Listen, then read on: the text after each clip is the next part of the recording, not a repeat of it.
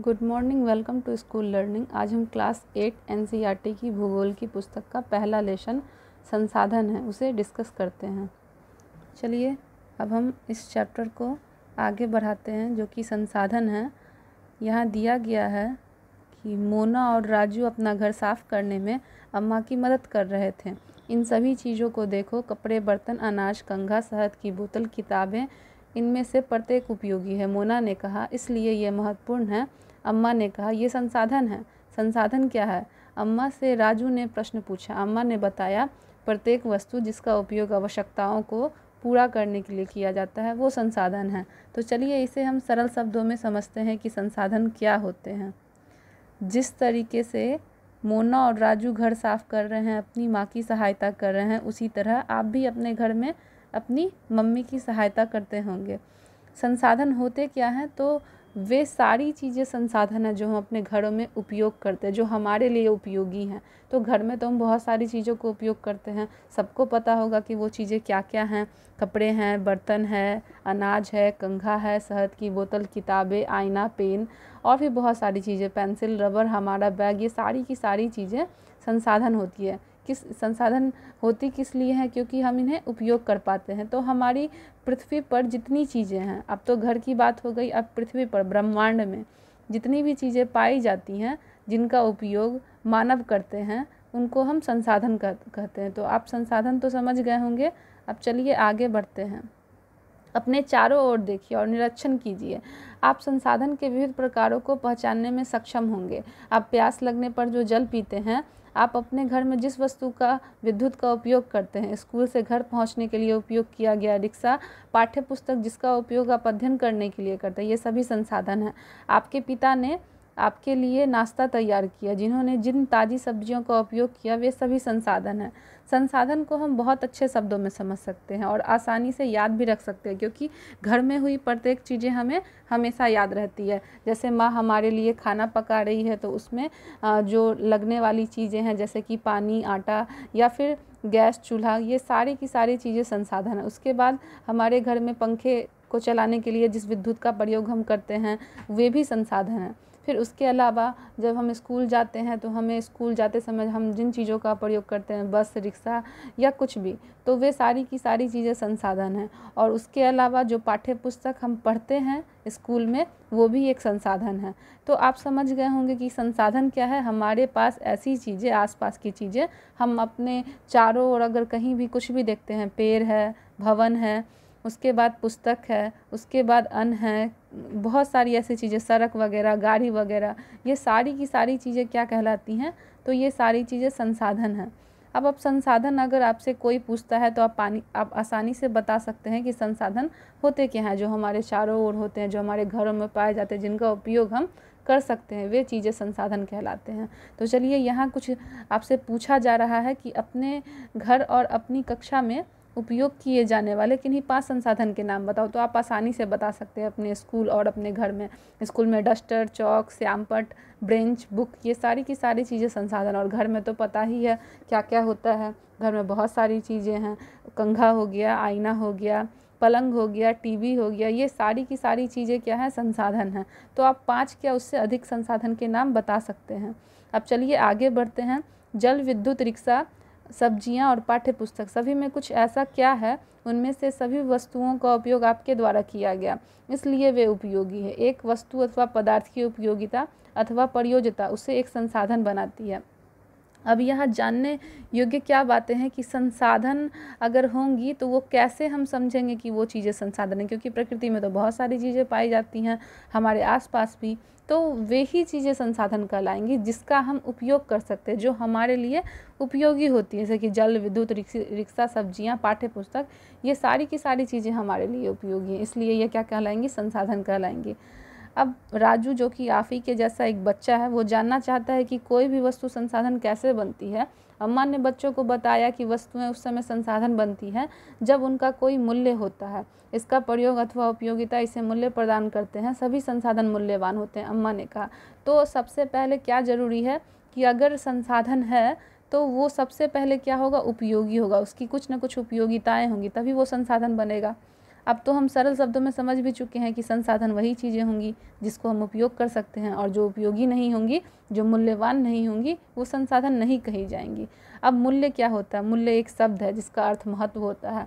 कुछ संसाधनों का आर्थिक मूल्य होता है, जबकि कुछ संसाधनों का आर्थिक मूल्य नहीं होता। है हमारे आसपास तो बहुत सारी चीज़ें पाई जाती हैं। इसमें कुछ हमारे लिए इम्पोर्टेंट होती हैं और कुछ नहीं होती हैं। जैसे कि यहाँ पे उदाहरण दिया गया है। कि धातुओं का आर्थिक मूल्य होता है, लेकिन एक मनोरम भूदृश्य का आर्थिक मूल्य नहीं होता है। अगर हमारी प्रकृति में बहुत सारी धातुएँ पाई जाती हैं, तांबा, लोहा, सोना, चांदी, ये सारी की सारी चीज़ें हमारे लिए इंपॉर्टेंट है। लेकिन मान लीजिए कि एक खाली मैदान है और भी बहुत सारे ऐसे पत्थर के टुकड़े जिनका हम कोई उपयोग नहीं कर पाते हैं तो जिन चीज़ों का हम उपयोग नहीं कर पाएँगे, वो हमारे लिए संसाधन नहीं कहलाएँगे और मनुष्य भी अपनी आवश्यकताओं को पूरा करता है। तो संसाधन वही होंगी जिसका मनुष्य अपने चीज़ों के लिए उपयोग करता है। उसको हम संसाधन कह सकते हैं। कुछ संसाधन समय के आर्थिक रूप से ही मूल्यवान हो सकते हैं। आपकी दादी, घरेलू नुस्खों का आज कोई वाणिज्यिक मूल्य नहीं है, लेकिन यदि वे पेटेंट करने के उपरांत मेडिकल फर्म द्वारा बेचे जाते हैं, तब वे आर्थिक रूप से मूल्यवान हो सकते हैं। हमारे घर में अगर किसी की तबीयत बिगड़ जाती है तो अगर हमारे पास कोई दवा नहीं होती है तो हमारे घर में सबसे बुज़ुर्ग हमारी दादी अम्मा, जिनको बहुत सारी चीज़ों का ज्ञान होता है। एक तो वो उम्र में बड़ी होती हैं, उसके बाद उन्हें बहुत सारी आयुर्वेदिक चीज़ों का ज्ञान होता है। तो वो हमें बताती हैं कि आप इन चीज़ों को ले लो तो आपकी तबीयत ठीक हो जाएँगी। तो हम घरेलू नुस्खों का प्रयोग करके उस समय तो अच्छे हो जाते हैं, लेकिन ये पेटेंट नहीं खिलाएँगे। पेटेंट कहने का क्या अर्थ है कि पेटेंट यहाँ पे एक शब्द भी दिया हुआ है, आप देख सकते हैं। इस पेटेंट का अर्थ होता है कि कोई भी ऐसा चीज़ जो आविष्कार किया गया हो और जिसका एक मूल्य हो, जैसे कि अगर हम बाज़ार जाएँ और दुकान पे हम बोले मेडिकल शॉप में कि हमें आप बुखार की दवा दे दो तो वो आपको दवा दे रहा है बुखार की, वो हम खरीद रहे हैं पैसे देकर, उसका एक मूल्य है और उसका कोई आविष्कार किया गया है। तो अगर दादी माँ के नुस्खे अगर पेटेंट हो जाते तब वे संसाधन कहलाते, लेकिन हम सिर्फ़ घरेलू नुस्खों को ही संसाधन नहीं कह सकते हैं। अब आशा करती हूँ कि आप संसाधन को अच्छे से समझ चुके होंगे। अब चलिए आगे की पैराग्राफ की ओर बढ़ते हैं। समय और प्रौद्योगिकी दो महत्वपूर्ण कारण हैं। जो पदार्थों को संसाधन में परिवर्तित करते हैं।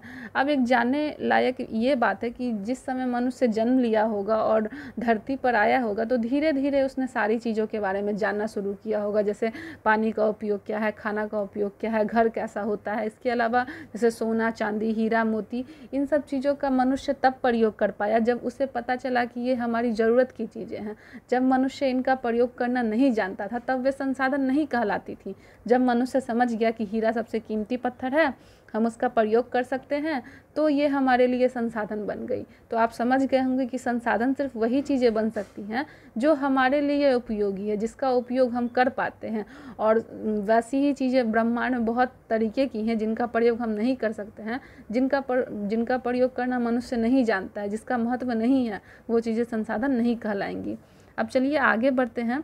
की आवश्यकताओं से संबंधित हैं। लोग स्वयं ही सबसे महत्वपूर्ण संसाधन है। मनुष्य को भी एक महत्वपूर्ण संसाधन कहा जा सकता है, क्योंकि उसका भी उपयोग बहुत सारी चीज़ों में होता है। खुद एक मनुष्य ही है, जो बहुत सारी चीज़ों का ज्ञान का भंडार होता है, क्योंकि वही बतला सकता है कि हम इन चीज़ों का प्रयोग कैसे कर सकते हैं। ये लोगों के विचार, ज्ञान, आविष्कार और खोज ही जो अधिक संसाधनों की रचना करता। मनुष्य एक संसाधन है कैसे? तो सबसे पहले अगर कुछ भी ऐसी वस्तुएँ होती हैं जिसका प्रयोग मनुष्य करना जानता है तो ही तो वो संसाधन कहलाती है। मनुष्य उसको पहचानना जानता है। अगर मनुष्य न होता तो इन संसाधनों का उपयोग कोई नहीं कर पाता और बस ये बेकार की चीज़ों की ही तरह होते। तो मनुष्य है तो ही संसाधन है और संसाधन तभी बनेंगे जब मनुष्य उनका प्रयोग कर सकेगा। अब चलिए आगे बढ़ते हैं कि प्रत्येक खोज अथवा आविष्कार से बहुत ही अन्य खोजों एवं आविष्कार होते हैं। आग की खोज से पका खाने की पद्धति, एक अन्य प्रक्रिया का प्रचलन हुआ, जबकि पहिए के आविष्कार से अनंत परिवहन की नवीनतम विधियों का विकास हुआ। जल विद्युत बनाने की प्रौद्योगिकी ने तेज़ी से बहते हुए जल से ऊर्जा उत्पन्न करके उसे एक महत्वपूर्ण संसाधन बना दिया। अब एक सोचने वाली बात यह है कि जिस समय मनुष्य आया था मतलब सबसे पहले जिस मनुष्य का जन्म धरती पर हुआ होगा, वो बिल्कुल जानवर की भांति रहा होगा, लेकिन धीरे धीरे जब उसमें बुद्धि का विकास आता चला गया तो उसने आग की खोज की। पहले मनुष्य जब आग की खोज नहीं किया था तो वो कच्चा मांस खाता था जानवरों की तरह। अब इसके पीछे एक छोटी सी कहानी क्या है कि जब जंगल में आग लग गई तो बहुत सारे जानवर उसमें जलकर पक गए। मनुष्य ने इनका स्वाद चखा तो उन्हें ये काफ़ी ज़्यादा अच्छा लगा। फिर उसने क्या देखा कि एक डाल से दूसरी डाल के टकराने के बाद आग उत्पन्न होता है। तो उसने इसी तरीके से आग को जलाना सीख लिया और भोजन को पकाकर खाना भी सीख लिया। उसके बाद वो पहिए का आविष्कार हुआ। पहिए का आविष्कार हुआ कैसे? जब एक मनुष्य बहुत ज़्यादा सामानों को लाद कर ले जाता था कहीं पहाड़ पे ऊँचे ऊँचे पहाड़ों पर तो उस समय एक पत्थर पहाड़ की ओर से घुड़क कर नीचे चला गया। उसके घुरकने से ही उन्हें पता चला कि हम इस तरीके से पहिए का आविष्कार कर सकते हैं। तो यहाँ से पहिए का आविष्कार होना शुरू हुआ और उन्हें आवाजाही में अब बहुत ज़्यादा दिक्कतें नहीं होती थी। पहिए के आविष्कार से उन्होंने धीरे धीरे काठ का आविष्कार कर लिया। काट उस समय ऐसा होता था कि लकड़ी का बना होता था और उसमें पहिए जो होते थे, वो बड़े बड़े पत्थरों के होते थे। अंततः परिवहन की नवीनतम पद्धतियों का विकास हो गया। जल विद्युत बनाने के लिए उसने जल से विद्युत तैयार करने की योजना शुरू की तो धीरे धीरे मनुष्य इन चीज़ों को संसाधन बनाता चला गया। अब जैसे कि यहाँ पे कुछ शब्दावली दी गई है प्रौद्योगिकी किसी कौशल करने अथवा वस्तु बनाने में नवीनतम ज्ञान का अनुप्रयोग प्रौद्योगिकी कहलाता है। प्रौद्योगिकी होता क्या है कि अगर हम कोई चीज़ बना रहे हैं और मेरे पास नया ज्ञान है और वो किसी चीज़ को आसान कर देती है तो हम उसे प्रौद्योगिकी के संदर्भ में रख सकते हैं। अब यहाँ एक क्रियाकलाप दिया है कि अम्मा की सूची में उन संसाधनों पर गोला बनाइए जिनका अभी वाणिज्यिक मूल्य नहीं है। ये अम्मा की एक सूची दी गई है। आप अभी तक तो संसाधन को समझ चुके होंगे कि कौन चीज़ें संसाधन हैं और कौन चीज़ें नहीं हैं। तो ये एक अम्मा की सूची दी गई इसमें जो चीज़ें संसाधन उस पर आप टिक लगाइए और जो चीज़ें नहीं हैं, उस पर आप क्रॉस करिए। तो आप देख सकते हैं यहाँ पे बहुत सारे सूती वस्त्र हैं, लौ अयस्क है, ये चीज़ें हमारे लिए उपयोगी हैं। तो इस पर हम टिक लगा सकते हैं, जो चीज़ें नहीं हैं, उस पर हम नहीं का टिक लगाएँगे। इसको आप खुद भी करके देख सकते हैं, ये बहुत ही सरल और आसान है। अब चलिए आगे बढ़ते हैं। जैसे कि यहाँ लिखा गया है कि एक बहुत महत्वपूर्ण संसाधन है इसलिए मैं भी एक संसाधन हूँ एक बच्ची है, जो अपनी माँ को बोलती है कि आप एक महत्वपूर्ण संसाधन है, इसलिए मैं भी आपकी संतान हूँ तो मैं भी महत्वपूर्ण संसाधन हूँ। चलिए आप संसाधनों के प्रकार के बारे में जानते हैं कि संसाधन के प्रकार क्या होते हैं। सामान्य संसाधन को प्राकृतिक मानव निर्मित और मानव में वर्गीकृत किया गया। मतलब संसाधन को तीन वर्गों में बांटा गया। एक प्राकृतिक जो हमें प्रकृति से मिलता है, एक मानव निर्मित जो मानव बनाता है। और मानव इसे क्या करता है? अलग अलग वर्ग में विभाजित किया गया। है अब चलिए सबसे पहले जानते हैं प्राकृतिक संसाधन के बारे में कि प्राकृतिक संसाधन होते क्या? जैसा कि पहले भी बता चुके हैं कि प्राकृतिक संसाधन जो हमें प्रकृति से प्राप्त होते हैं। जो संसाधन प्रकृति से प्राप्त होते हैं और अधिक संशोधन के बिना उपयोग में लाए जाते हैं, ये प्राकृतिक संसाधन कहलाते हैं। अब प्राकृतिक संसाधन को किसी भी तरीके से संशोधन नहीं किया सकता जैसे हैं हम उन्हें वैसे ही ले जैसे कि वायु इसे हम बदलाव नहीं कर सकते हम वैसे ही सांस लेते हैं। हमारी नदी उसका जल हम लोग पीते हैं और बा, बाकी सारी चीज़ों में भी उसका प्रयोग करते हैं। उसके बाद प्रकृति से हमें बहुत निःशुल्क उपहार मिलेगा मतलब हमें उसके पैसे नहीं देने पड़ते हैं। हमें पानी का पैसा नहीं देना पड़ता हमें वायु का पैसा नहीं देना पड़ता। इसके अलावा बहुत सारी ऐसी चीज़ें हैं जो हम प्रयोग करते हैं और निःशुल्क में करते हैं। मतलब बिना पैसे के करते हैं। प्राकृतिक संसाधन को विस्तृत रूप में नवीकरणीय और अनवीकरणीय दो क्षेत्रों में विभाजित किया गया है। अब प्राकृतिक संसाधन जो होते हैं, उसके अंतर्गत भी दो चीज़ें आती हैं। अब नवीकरणीय संसाधन को पहले समझ लीजिए। नवीकरणीय संसाधन वे संसाधन जो शीघ्रता से नवीनीकृत अथवा पुनः पूर्ति हो जाते हैं और इसमें कुछ असीमित है जो उन पर मानवीय क्रियाकलापों का प्रभाव नहीं पड़ता। जैसे कि सूरज, यानी कि सौर ऊर्जा, पवन ऊर्जा, यानी कि हवा से मिलने वाली ऊर्जा। लेकिन फिर भी कुछ नवीकरणीय संसाधन, जैसे कि जल, मृदा, वन का लापरवाही से किया गया उपयोग उनके भंडार को प्रभावित कर सकता है। जल असीमित नवीकरणीय संसाधन प्रतीत होते हैं, फिर भी जल की कमी और प्राकृतिक स्रोतों का सूखना आज विश्व के बहुत से भागों में एक बड़ी समस्या बन गया। देखिए, नवीकरणीय संसाधन क्या है, जो हमको प्रकृति से वापस प्राप्त हो जाते हैं। जैसे कि मान लीजिए कि सूरज हमको डेली आकर प्रकाश देता है और आता है और फिर चला जाता है। मतलब हर दिन हम इसको ले सकते हैं। हवा हमको हमेशा मिलती है और पानी भी पानी पहले हमको बहुत सारी मिल सकती थी, लेकिन आजकल बढ़ती जनसंख्या के कारण यह अपर्याप्त होते जा रही है। मतलब ऐसा भविष्य में है कि पीने वाला जो जल है धरती पर, वो बहुत कम है। तो हमको अगर पीने वाला जल बहुत कम प्राप्त है और जनसंख्या बढ़ रही है तो पीने वाला जल तो सीमित है हमारे पास, और अगर जनसंख्या बढ़ती है तो बहुत सारी जनसंख्या बढ़ते बढ़ते इस पीने वाले जल पर ही निर्भर हो जाएगी। अब जनसंख्या जितनी है और पीने का जल क्या है, बहुत ज़्यादा कम है।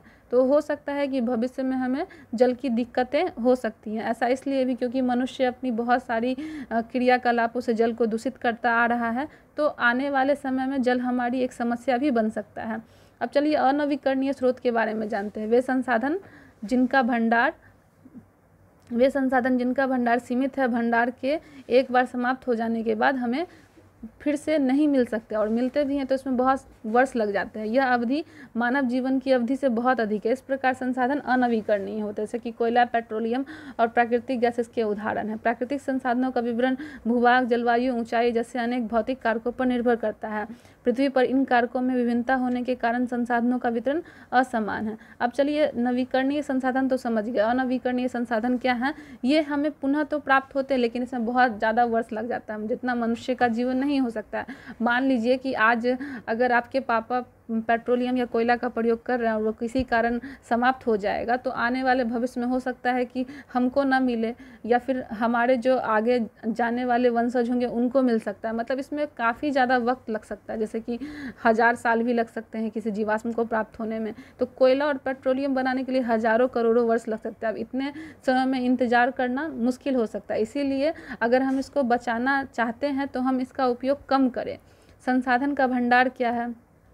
तो संसाधन का भंडार यह उपयोग इसलिए है क्योंकि संसाधन की उपलब्ध जो है वो मात्रा है मतलब इसकी मात्रा इतनी ही है। यह बढ़ेगी नहीं, यह दुगनी से तिगुनी तिगुनी से चौगुनी नहीं होगी। पेट्रोलियम, कोयला और प्राकृतिक गैसें यह सीमित मात्रा में, इसलिए हम इसका उपयोग करके इसको बचाया जा सकता है।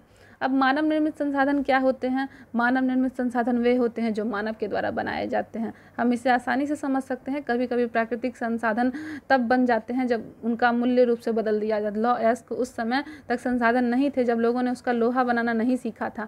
लौ प्राकृतिक संसाधन का उपयोग पुल, सड़क, मशीन और वाहन बनाने में करता है, जो मानव निर्मित संसाधन के नाम से जाना जाता है। प्रौद्योगिकी एक मानव निर्मित संसाधन है, इसलिए हम जैसे लोग प्राकृतिक संसाधन का उपयोग करके मानव निर्मित संसाधन बनाते हैं मुना ने समझाते हुए कहा हाँ राजू, ने स्वीकृति में सिर हिलाया। मतलब मानव निर्मित संसाधन क्या जो मानव के द्वारा बने होते। ये प्राकृतिक संसाधन होते थे, लेकिन जैसे मनुष्य ने लोहा का प्रयोग बहुत सारे औजारों में कर लिया, पुल बनाने में कर लिया, छेनी, हथौड़ी, इन सब चीज़ों को बना लिया, उसके बाद हम क्या देखते हैं कि जिस घर में हम रहते हैं, वो घर लकड़ी, सीमेंट, बालू, पत्थर, ये सारी चीज़ों का बना होता है ये बालू, पत्थर जो है ये कहाँ से आता है? तो ये हमें प्रकृति से ही मिलते हैं।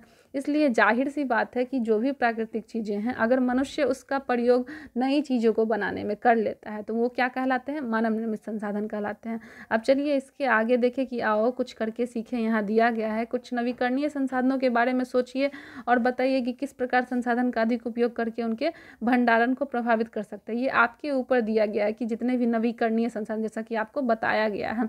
जैसे कि सूरज हो गया, सूरज से हमको निकलने वाली ऊर्जा, प्राप्त होने वाली ऊर्जा, जल हो गया, उसके बाद पवन। ये सारी चीज़ें जो हैं, किस प्रकार संसाधन का अधिक उपयोग उनके भंडारण को प्रभावित कर सकता है? अगर हम जल को प्रदूषित ना करें, कम प्रयोग करें जितनी ज़रूरत हो उतनी ही आवश्यकता के अनुसार प्रयोग करें। मान लीजिए कि हमको आधा ग्लास पानी पीना है और हम पूरा एक ग्लास भर लेते हैं। और हमारा प्यास जो है वो एक गिलास पानी के बदले आधे गिलास पानी में ही भर जाता है। तो बाकी आधा पानी हम क्या करते हैं, उसको फेंक देते हैं। तो इस तरीके से जल की बर्बादी होती है, केवल हम ही नहीं, पूरे दुनिया में लोग इसी तरीके से करते हैं। जैसे नल की टंकी को खुला छोड़ देते हैं। इस तरीके से पानी क्या होता है तो बहुत ज़्यादा बर्बाद होता है। तो अगर हम पानी की बर्बादी को रोकें और पानी को प्रदूषित ना करें तो हम आगे तक अपनी नवीकरणीय संसाधन को बचा कर रख सकते हैं। मानव संसाधन, लोग और अधिक संसाधन बनाने के लिए प्रकृति का सबसे अच्छा उपयोग तभी कर सकते हैं जब उनके पास ऐसा ज्ञान हो। और आओ कुछ करके सीखे, पाँच निर्मित संसाधनों की सूची बनाना है और अपने चारों ओर देख सकते हैं। ये तो आप फटाफट बता सकते हैं कि पाँच निर्मित संसाधन क्या हो जाएँगे। चलिए बोलिए, पुल हो गया, उसके बाद हमारा घर हो गया, उसके बाद बहुत सारे औज़ार हो गए, आप हथौड़ी बोल सकते हैं, उसके बाद आप क्या बोल सकते हैं तो आप टीवी बोल सकते हैं, उसके अलावा आप टेबल बोल सकते हैं, उसके अलावा आप पलंग बोल सकते हैं। तो ये पाँचों छः चीज़ें आपसे कितना भी पूछा जाएगा तो आप आसानी से बता दीजिएगा कि मानव निर्मित संसाधन होते क्या हैं। जैसे कि यहाँ पे कुछ दिया गया है चित्र में, हम उनको समझते हैं कि यहाँ पे एक चित्र है, पढ़े और मन करे। मनुष्य एक दूसरे पर निर्भर है। किसान भी सभी तरीके के लिए अन्न उपजाते हैं। वैज्ञानिक कृषि से जुड़ी विभिन्न समस्याओं और अन्न को बढ़ाने के उपाय कर सकते कोई एक किसान है, पूरे देश में बहुत सारे किसान होंगे। वो हम सब के लिए अन्न उपजाते हैं। अगर किसान अन्न न उपजाए तो हम खाएँगे पियेंगे क्या? अब यहाँ पे देखिए, यह क्या दिया गया है कि जब यह सब ज्ञान, शिक्षा और कौशल के कारण संभव हुआ तो हम इसका समाधान निकाल सकते हैं कि अगर किसान अपने दामों, अपने अन्न को सस्ते दामों पर गाँव में बेच देता है और पढ़े लिखे लोग होते हैं, उसके जो अन्न होते हैं, उनको बाहर शहरों में ज़्यादा दाम पर भिजवाता है तो फ़ायदा उनका ही होता है। तो इस तरीके से किसान निर्भर है ना शिक्षित लोगों पर। अब चलिए आगे पढ़ते हैं। यहाँ पे दिया गया है कि सूखे के कारण फ़सलों के विनाश में क्या इसका समाधान निकाल सकती हूँ। न्यूज़पेपर के एडिटर जो होते हैं, वो हमारी समस्याओं को दूर दूर तक पहुँचा जैसे किसान की समस्या या कोई भी आम जनता की समस्या व या सरकार की समस्याओं को टी वी दिखाया जाता है, न्यूज़ के माध्यम से बताया जाता है। इसका कारण क्या है कि अगर मान लीजिए कि इन सब चीज़ों को हम पढ़ेंगे तो इन सब चीज़ों का हल ज़रूर निकलेगा।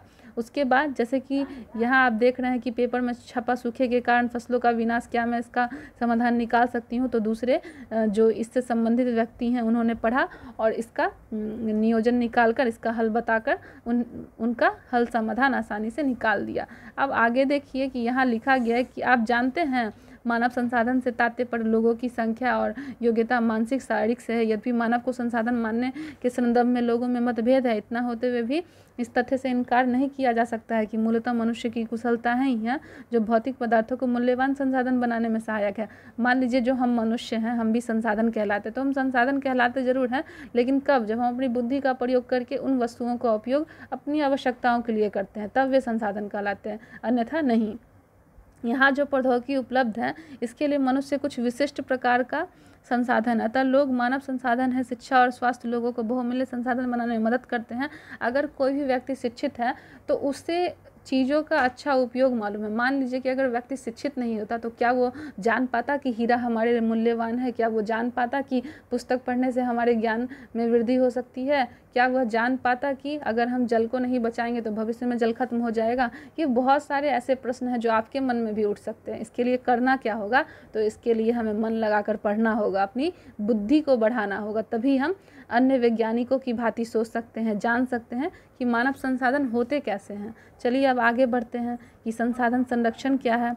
मोना ने एक बुरा स्वप्न देखा और उसने देखा कि पृथ्वी पर सारा जल सूख गया है, सारे पेड़ कट गए हैं और वहाँ पर न तो छाया है, न ही कुछ खाने पीने के लिए। लोग परेशान हो रहे थे और चारों तरफ़ भोजन और छाया की तलाश में निराश घूम रहे थे। उसने अपने माँ को सपने में, बारे में बताया, माँ ने पूछा, क्या सच में हो सकता है? माँ ने उत्तर दिया हाँ हम नवीकरणीय संसाधनों के प्रति सतर्क नहीं रहे तो वे बहुत ही दुर्लभ हो सकते हैं और अनवीकरणीय संसाधन निश्चय ही समाप्त हो जाएँगे। राजू ने पूछा, हम इसके लिए क्या कर सकते हैं? बहुत कुछ। अम्मा ने उत्तर दिया, आप अपने दोस्तों से बात क्यों नहीं करते, संसाधनों का सत सतर्क सत्कर्तपूर्वक उपयोग करना और उसे नवीनीकृत के लिए समय देना, संसाधन संरक्षण कहलाता है। संसाधनों का उपयोग करने के लिए आवश्यकता और भविष्य के लिए उनके संरक्षण को संतुलन में बनाए रखना, संतोष पोषणीय विकास कहलाता है। संसाधनों के संरक्षण में अनेक तरीके हैं। प्रत्येक व्यक्ति उपभोग को कम करके वस्तुओं के पुनः चक्रण और पुनः उपयोग द्वारा योगदान दे सकता है। अंततः यह एक विभिन्नता बनाता है, क्योंकि सभी जीवन एक दूसरे से जुड़े हैं। उस शाम बच्चों को उनके मित्रों ने पुराने समाचार पत्रों के व्यर्थ वस्त्रों तथा बाँस की डंडियों से लिफाफे और खरीदारी के थैले बनाने, मोना ने कहा कि हम इन वस्तुओं में से कुछ वस्तुएँ उन परिवार को देंगे, जिन्हें हम जानते हैं। मुस्तफ़ा ने कहा कि हम संसाधन को बचाना है तो अपनी पृथ्वी को सजीव रखना होगा। और यह एक बहुत अच्छा कार्य है। जस्सी ने कहा, मैं तो बहुत ही सतर्क रहती हूँ और कागज़ व्यर्थ के लिए न हो, उसे स्पष्ट किया सकता है। कागज़ बनाने के लिए बहुत से पेड़ों को काट दिया जाता है। अब आप ही के जैसी एक बच्ची है जिसका नाम मोना है, आप भी ऐसा स्वप्न देख सकते हैं। अगर विद्यालय में पढ़ाया जाए तो हम भी अपने प्रकृति के बारे में, अपनी पृथ्वी के बारे में सजग हो सकते हैं। मोना ने एक बुरा सपना देखा, जिसमें कि उसने देखा कि जल का अधिक उपयोग होने के कारण जो है जल सूख गया। ऐसा हो सकता है, अगर हम जल का उपयोग व्यर्थ में करते हैं तो जल तो खत्म हो ही जाएगा। और अगर जिस तरीके से मनुष्य प्रदूषित करता है, मान लीजिए कि जल को वो गंदा करता है, उसमें कचरा वगैरह डाल देता है, मवेशियों को धोता है, कपड़े को धोता है तो इस तरीके से जल गंदा होता है। वायु भी प्रदूषित होता है। जब हम मोटर गाड़ी चलाते हैं, उससे निकलने वाले धुएँ, ऐसी बहुत सी चीज़ें हैं जिसके कारण मानव जो है नित्य प्रतिदिन पर्यावरण को प्रदूषित करता है। तो इसका विनाश तो एक ना एक दिन तय है। लेकिन अगर हम चाहें तो हम इसे बचा कर रख सकते हैं। पानी का व्यर्थ में उपयोग ना करें। अगर जितनी ज़रूरत हो, उतना ही प्रयोग करें। पानी को गंदा ना करें।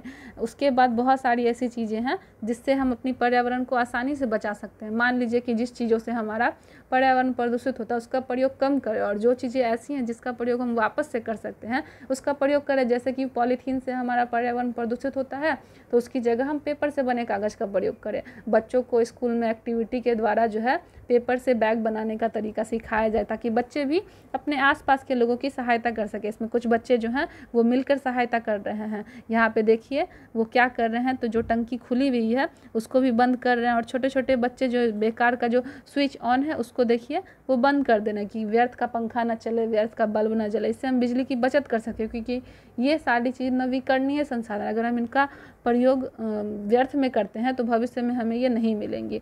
इस बच्चे को देखिए, ये भी कुछ कर रहा है और ये बच्चा जो है, वो पानी की बर्बादी को बंद कर रहा है। ये थैले बना रही हैं घर की चीज़ों से। आप भी बना सकते हैं, पेपर से बैग बना सकते हैं, उसे दुकान में दे सकते हैं। इससे क्या होगा? भले ही इससे हमें चार पैसे नहीं मिलेंगे, लेकिन इससे हमारी प्रकृति बची रहेगी। आने वाले समय में। अब यहाँ पे एक छोटी सी चीज़ दी गई है, शब्दावली, उसको हम समझते हैं कि सतत पोषणीय विकास, क्या तो संसाधनों को सावधानीपूर्वक उपयोग कीजिए ताकि न केवल वर्तमान पीढ़ी की, अपितु भावी पीढ़ियों की भी आवश्यकताएँ पूरी होती रहे। मतलब सतत पोषणीय विकास का मतलब है कि जैसे कि हमारे पिताजी या हमारी माता या फिर और भी बहुत सारे ऐसे लोग जो पेट्रोल, कोयला वगैरह का प्रयोग करते हैं। अगर हद से ज़्यादा इनका प्रयोग किया गया तो वो आने वाले भविष्य में नहीं मिलेंगे या हमको भी नहीं मिल सकती हैं। तो उनसे आग्रह कीजिए कि जिस जगह हम इनका प्रयोग कम कर सकें, उसे कम करें। जिस जगह हमें पैदल जाने की आवश्यकता है, वहाँ हम गाड़ी का प्रयोग न करें। तो इस तरीके से हम पेट्रोल की बचत कर सकते हैं, ताकि वो आने वाली पीढ़ी के लिए बच सके। उसके बाद जो गैस हो गया, जो हम उपयोग करते हैं तो उस गैस का प्रयोग हम बहुत ज़्यादा ना करें। जिस जगह उपयोग हो, बस उतना ही करें, ताकि हम आने वाले भविष्य के लिए उन चीज़ों को बचाए रख सकें। अब आगे चलिए, आगे पढ़ते हैं कि मैं ध्यान रखूँगा कि मेरे घर में विद्युत जो है, यानी कि इलेक्ट्रिसिटी वो बेकार का ना जले। मुस्तफ़ा ने ज़ोर से कहा, विद्युत और कोयले से हमें, विद्युत, जल और कोयले से ही मिलती है। मैं विश्वास दिलाती हूँ कि घर में जल बेकार का नहीं चलेगा जल की एक एक बुन मूल्यवान है। आशा ने कहा, बच्चों ने कहा, हम सब मिलकर अंतर ला सकते हैं। कुछ कार्य मोना, राजू और उनके मित्रों ने किए। मतलब आप ही के जैसे बहुत सारे बच्चों ने अपने आस पड़ोस में जाकर एक कार्य किया, जिसमें कि हम व्यर्थ की बिजली नहीं जलने देंगे, व्यर्थ का पानी नहीं बहने देंगे, जितनी ज़रूरत हो उतनी ही करेंगे। अगर हम आज बूंद नहीं बचाएँगे जल की एक एक तो हमें आने वाले दिनों में कोई भी बूंद नहीं मिलेगा जल का। हमारी पृथ्वी और इस पर निवास करने वाले लोगों की भविष्य पेड़ पौधे और पतन की सुरक्षा और संरक्षण से जुड़ा है। और उन्होंने यह भी संकल्प लिया कि हमारे आसपास जो भी लोग हैं, उनको हम अपनी प्रकृति के बारे में, बचाने के बारे में, उनसे होने वाले तरीके के बारे में सुनिश्चित करेंगे। क्योंकि अगर हम छोटे छोटे बच्चे इन कार्यों को करेंगे तो ज़ाहिर सी बात है कि बड़े भी हमसे सीख सकेंगे। सभी नवीकरणीय संसाधन के उपयोग जो है वो सतत पोषणीय होते हैं और यह हमारा कर्तव्य है कि हम हमारी पृथ्वी अपने पर्यावरण को बचा कर रख सकें, पृथ्वी पर जीवन की विविधता संरक्षित की जाए, प्राकृतिक पर्यावरण तंत्र की हानि कम से कम की जाए। अब चलिए यहाँ पे कुछ सतत पोषणीय विकास के सिद्धांत दिए गए हैं जो बच्चों के लिए भी हैं और बड़ों के लिए भी हैं। जो बड़े नहीं समझ सकते हैं, बच्चे उसे आसानी से सीख सकते हैं, क्योंकि अगर बच्चे उस काम को करेंगे तो बड़े भी उन्हें सीख सकेंगे। जीवन के सभी रूपों का आदर और देखभाल करना है, मानव जीवन की गुणवत्ता को बढ़ाना है, पृथ्वी की जीवन शक्ति और विविधता का संरक्षण करना है, प्राकृतिक संसाधनों के ह्रास को कम से कम करना है, पर्यावरण के प्रति व्यक्तिगत व्यवहार और अभ्यास में परिवर्तन करना है, और समुदायों को अपने पर्यावरण की देखभाल करने योग्य बनाना है। इनमें जितनी भी बातें लिखी गई हैं, आशा करती हूँ कि आप बच्चे इनको समझेंगे और अपने जीवन में इसको अग्रसर भी करेंगे और बाकी दूसरे लोगों को भी सिखाएँगे। चलिए तो अब हम इस अध्याय को समाप्त करते हैं। अगर आपको यह वीडियो अच्छा लगा हो तो इस चैनल को लाइक, सब्सक्राइब और शेयर करें और कमेंट भी करें। बेल आइकन को दबा दें ताकि नोटिफिकेशन ऑन कर लें। अब मिलते हैं हम अपने नेक्स्ट वीडियो में। Thank you.